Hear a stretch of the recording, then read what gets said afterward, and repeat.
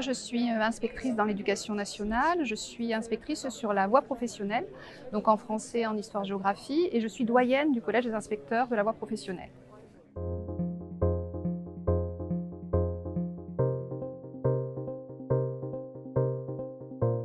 On en avait déjà entendu parler euh, grâce à la mission euh, éducation développement durable qui est portée par l'Académie.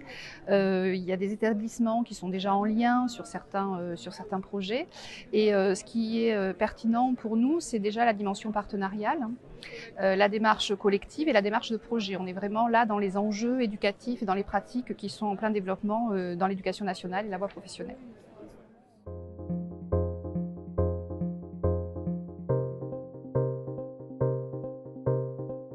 Suivant les associations et les partenaires qui étaient présents, donc il y a quand même l'aspect technique, euh, qui est important, c'est-à-dire qu'il y a euh, toute une réflexion technique sur, euh, sur ce qui va être l'industrie du futur et donc ce qui est porté dans les formations professionnelles et dans les nouveaux référentiels.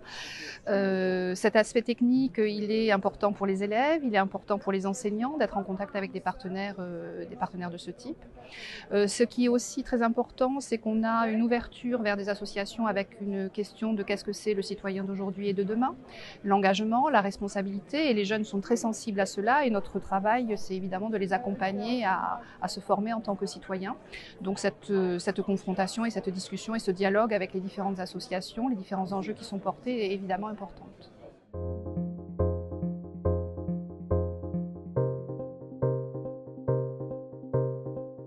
J'ai pas de visibilité sur tous les projets parce que là, on est à l'échelle d'un établissement, à l'échelle d'une école, donc on n'est pas sur quelque chose qui est recensé au niveau, euh, académique.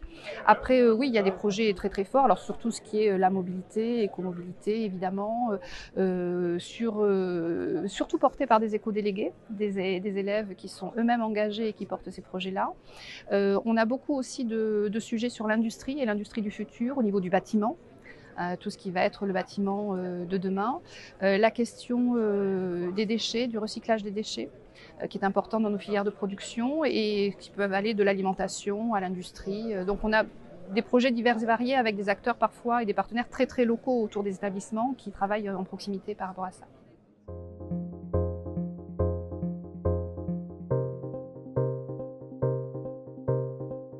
Je pense que ce qui serait intéressant, c'est d'avoir une, euh, à notre échelle, hein, un peu académique finalement, ou départementale, euh, un, partenariat et des projets euh, qui fassent se concerter différents établissements sur l'académie, autour de filières ou autour de thématiques, pour justement impulser des, projets qui, soient, qui dépassent l'établissement et qui dépassent parfois aussi le local pour, pour élargir le, collaboratif et les partenariats.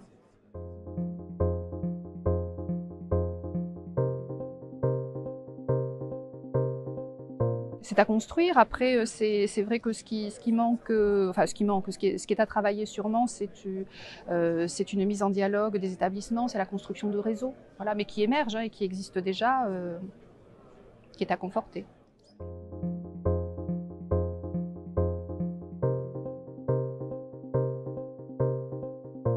Là tous les inspecteurs dans ce salon euh, aujourd'hui. Et euh, ce qui était marquant, c'était vraiment euh, la richesse du dialogue et des échanges et la, conviction et l'engagement des uns et des autres, où chacun finalement de sa focale, de sa, de sa pertinence, de son expertise, de ses ambitions, apporte, apporte la pierre à l'édifice. Et, et, toutes ces personnes d'horizons très différentes participent finalement au même objectif qui est quand même la responsabilité citoyenne, la construction du, du futur avec qu'est-ce qu'on va consommer, comment on va vivre, comment on va construire, et beaucoup d'intelligence collective mise dans tout ça.